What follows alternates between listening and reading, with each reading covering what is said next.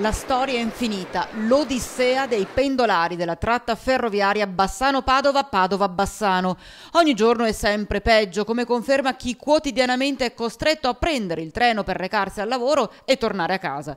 Stefano Miotti ha chiamato Rete Veneta per denunciare una situazione diventata insostenibile, tra ritardi continui, passeggeri stipati come bestie, se non addirittura lasciati a terra. Questa mattina c'è stato un problema con il treno che, dalle 7.40, che delle 7.40 parte da Bassano a Padova e da Rossano Veneto in poi la gente era in piedi e da San Giorgio delle Pertiche in poi sono rimasti a terra perché il treno aveva tre carrozze anziché cinque quindi 210 posti anziché i soliti 500. E per i passeggeri lasciati a piedi, oltre al danno, la beffa. Avevano un nuovo biglietto regionale che ha una validità giornaliera eh, il viaggio è stato perso, hanno perso il biglietto perché sono venuti a Padova in auto e il biglietto ha una validità temporale di un solo giorno e quindi non può essere utilizzato negli altri giorni.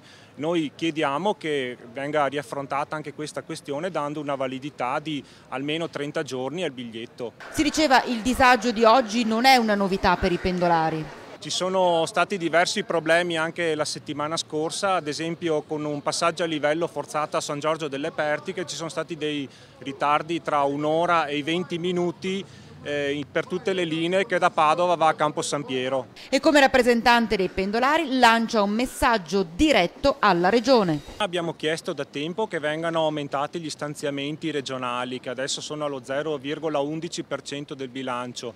Teniamo presente che regioni come la Lombardia spendono lo 0,64 del bilancio e l'Emilia Romagna lo 0,27.